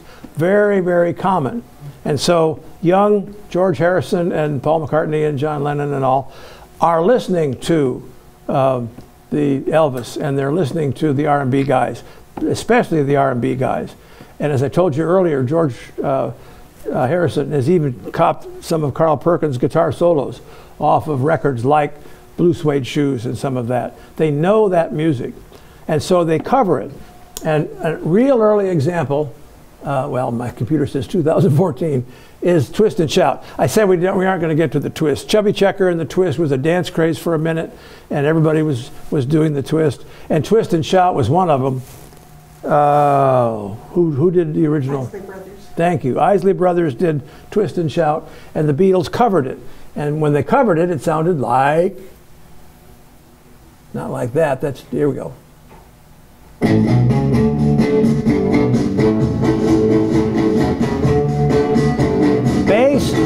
Guitars, and drums. Lennon singing.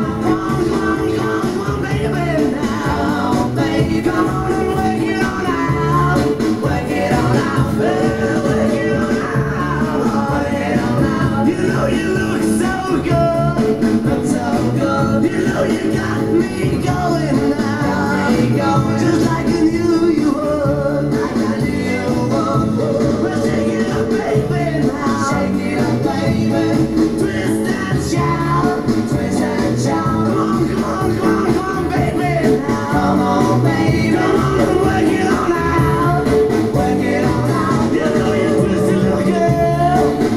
you hear the, the almost a, a Little Richard kind of a falsetto thing? And I mean, they've been listening to this stuff, and, and it's coming out in their music. Paul's playing bass, and it happens he's left-handed. So instead of playing bass like this, he plays bass like this, so that John next to him can play guitar like this, and they can sing into the same microphone. Now that's that's really no big deal. You could have two microphones, but they didn't because they could stand close together, and one's playing over here, and one's playing over here. Just a little footnote. But uh, Paul is, and always, uh, well, I guess everybody's always what they were.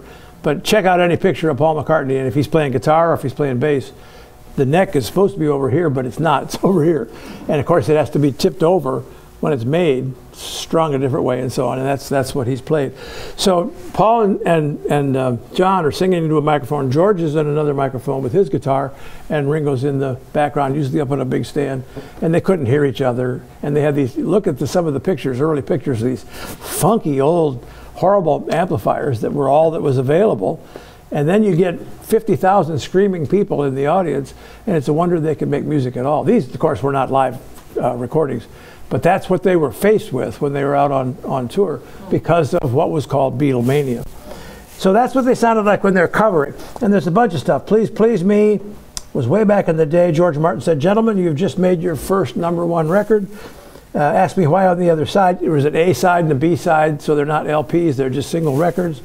Please, Please Me, da da da. Uh, two singles of a misery and there's a place. Do you want to know a secret? Boys Sherelle. Uh, a song which was sung by ringo. This is way back in the early days. Twist and shout i played for you from from me to you thank you girl. It goes on and on. If you get the whole box set it's just astonishing how much stuff is in there. Okay so we did that. Moving on to i want to hold your hand which i think was maybe the biggest hit early hit here in this country though not in england and you've heard this before.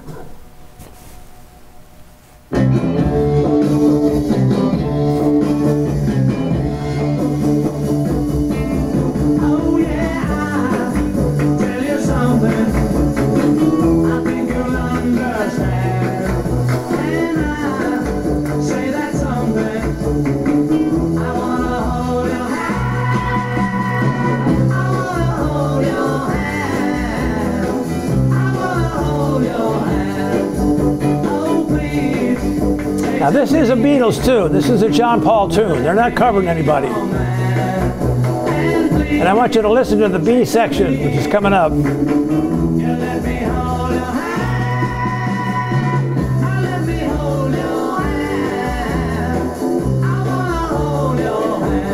Here, Paul's song. The way Paul wrote music and the way John wrote music is pretty easy to tell. I got a better example coming up. John comes back in again, and they hit the A section. And if anybody asks you what the hook is, I'll show you.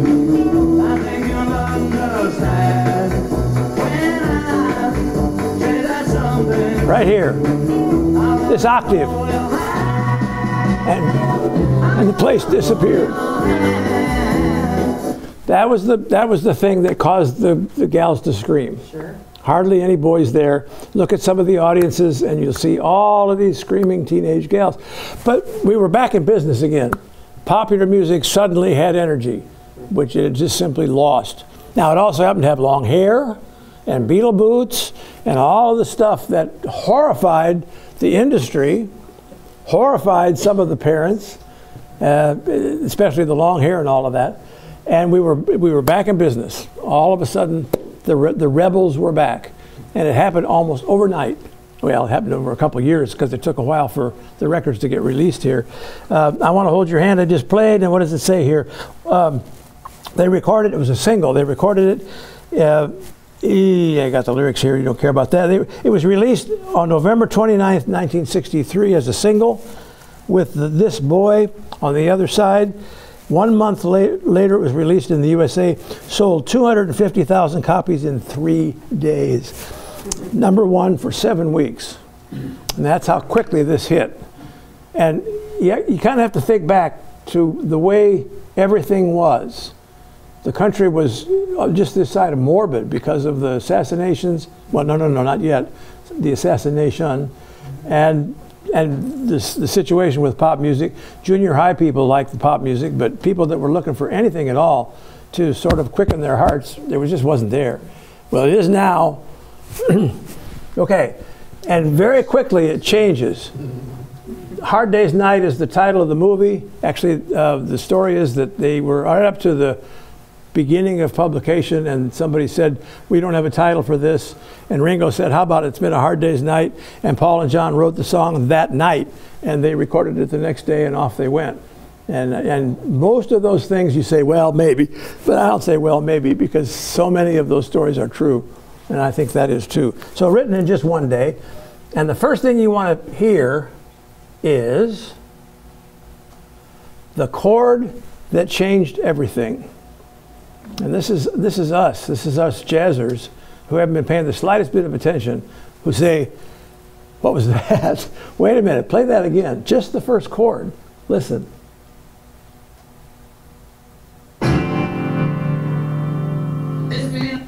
If you stop it right there, it's like, What? And then you start trying to figure out what the notes are in there because it's not just a three note chord. And it's a 12 string guitar. It's George Harrison's 12 string guitar. And it, it changed everything. It was a whole different way of, of thinking about sound. And Hard Day's Night is 7 10 64, July 10th, 1964. I'll do it again and let it go.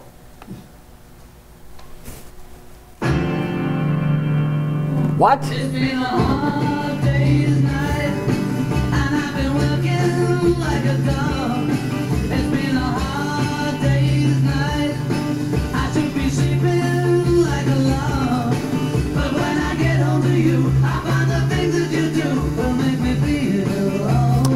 John on top, the principal singer. And I'm going to let it play just long enough so you can hear George Harrison and his 12 string guitar.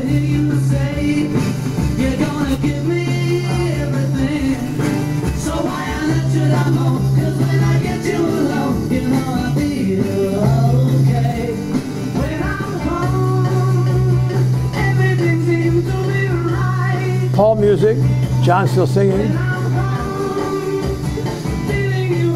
So often Paul's music is more melodic, and then back to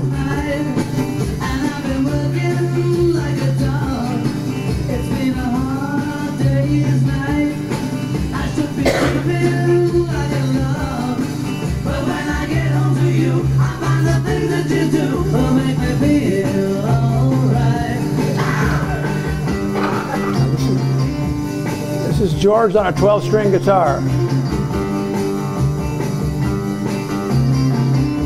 That sound is going to come back again because we're going to hear with the Beach Boys and various groups we aren't going to hear that picked up on that 12 string guitar sound. Hard Day's Night, released 7 Only Beatles album to consist solely of John Paul tunes. John the Principal on 10 of 13. Uh, if I Fell, Hard Day's Night, I'm Happy Just to Dance with You, and I Love Her, Can't, can't, that's, it can't buy me love, that's, it says can't butt me love, that's not right. My, my typewriter flipped.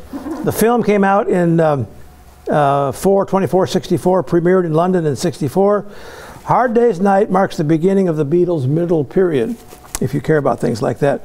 A remarkable six month output coupled with two USA tours is the beginning of, is the uh, self contained middle period.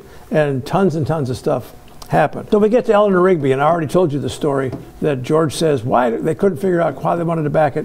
Why don't we use a string quartet? Paul said that's nuts, but he said, well, let me try it, and he did. And this is Eleanor Rigby. And again, you've heard this, but it's interesting to make note of.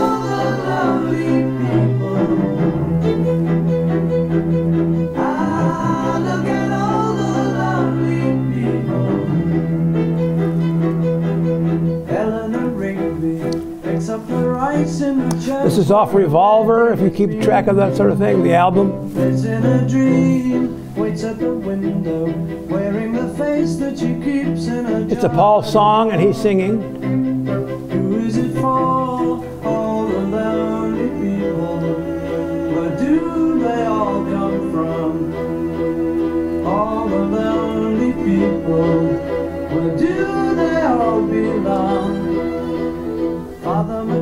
The. The original was Father McCartney, and they decided that was maybe a little presumptuous and changed it to Father McKenzie. And we're into the point where people are listening to the lyrics and don't know what they mean, and are beginning to wonder what in the world are they talking about. And the Beatles loved that. And of course, it got much, I won't say worse, it got much more tangled up. I am the Walrus, listen to that a while and see what in the world's going on in that. So they're now playing music that cannot be reproduced on stage. They can't be reproduced live. It's studio music to be recorded, and that gets remarkably uh, greater. And the last example I'm going to play with two minutes to go is A Day in the Life. And I really wanted to play the whole thing. I may have to skip a little bit, and, and, but, but I want you to hear the ending because the ending is the longest E major chord in the history, as far as I can tell, of the entirety of music. Uh, and, I, and I'll see if I can get to the point where you can at least hear it. But this is the last I'm going to play. It's off Sgt. Pepper's Lonely Hearts Club Band. It's a day in the life, and it literally is a day in the life.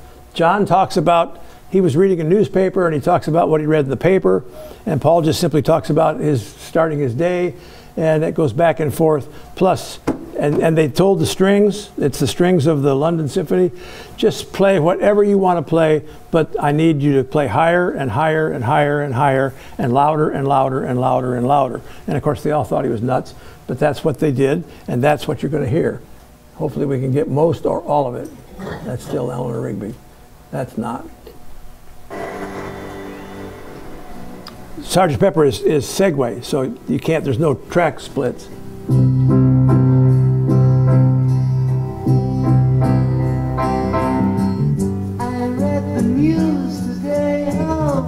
I read the news today, oh boy.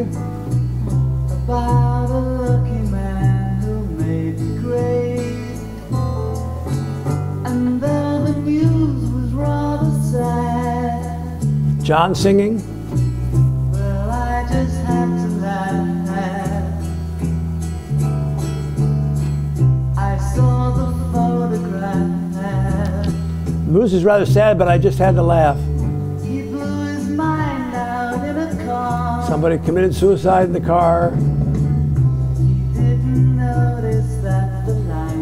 Changed. Didn't notice that the traffic light had changed. he.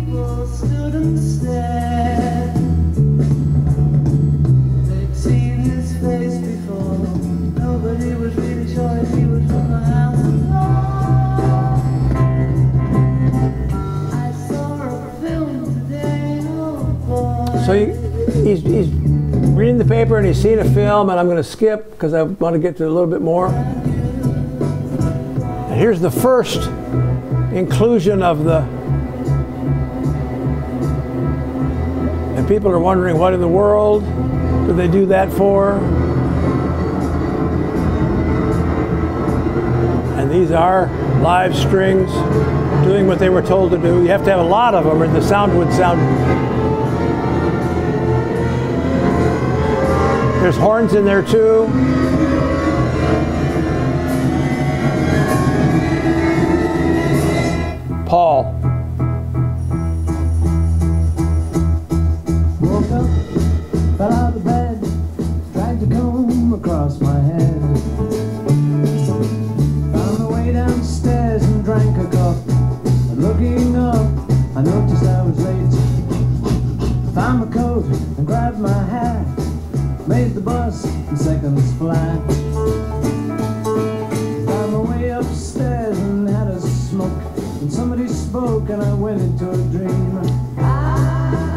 Lot of drug references going on now too, or not. It's up to you to decide. But this could very well be, and people thought it was, an LSD experience, although he said smoke.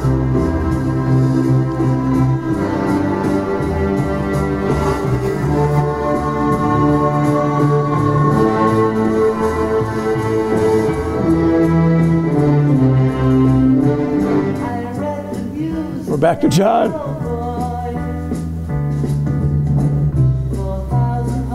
This is the, the funniest. 4,000 holes, and, and he's talking about chuck holes in the street.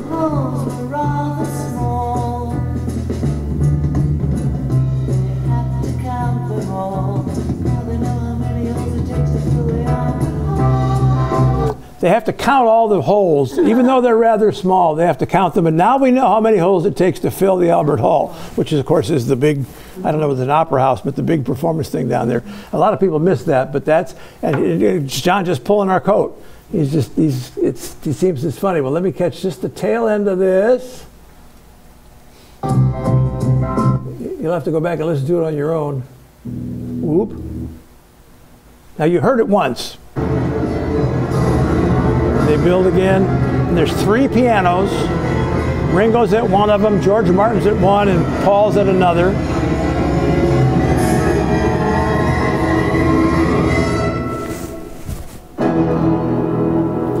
And they loop it. And it lasts for over a minute. And it's not going to last over a minute here. But trust me, it, it takes, well, I can tell you, it's a minute, 59 seconds, 58, 57 on the, yeah. Why in the world did they do that? Well, that's what they want you to ask. I'll, I'll, Why not? and then again, why not? Because they've got the studio, Apple Studio, they've made gazillion dollars. They've got all the musicians they can possibly hire. And I don't, I mean, there's just so much music I'd love to play, and there's just isn't any time. But I will do a little bit of a, of a uh, cleanup when we get together next Friday because we have to move right on into what happens in the 60s, which is remarkable. Um, I was hoping to get through the Beatles, and you're a little late, five minutes late. Thank you for staying. Yes, yes. It's been wonderful. We'll, we'll, we'll pick up right where we left off. Okay. Bang! Yes, right. But think about the chord on. Think about the chord at the beginning, beginning of uh, Hard Day's Night, and then this chord, and there's still so much more music they made after this. That was the greatest time of music.